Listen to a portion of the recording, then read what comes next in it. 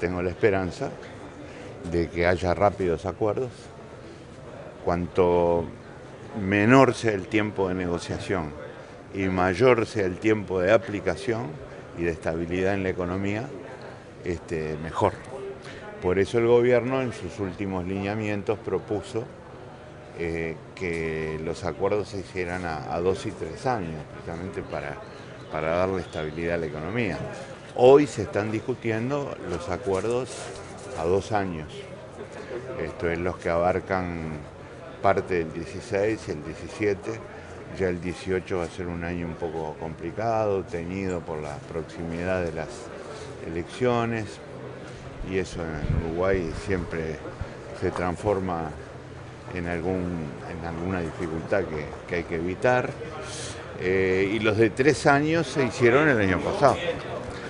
Así que con estos lineamientos que le dan más estabilidad y más flexibilidad a la negociación por ingresos, este, me parece que estamos haciendo todos los uruguayos, por supuesto, empleadores, trabajadores, la sociedad en su conjunto, un aporte para que, por un lado, eh, tengamos más eh, estabilidad en los precios, eh, por otro lado, para ir generando condiciones sobre todo en la parte fiscal, de, crecimiento que Uruguay está buscando recuperar.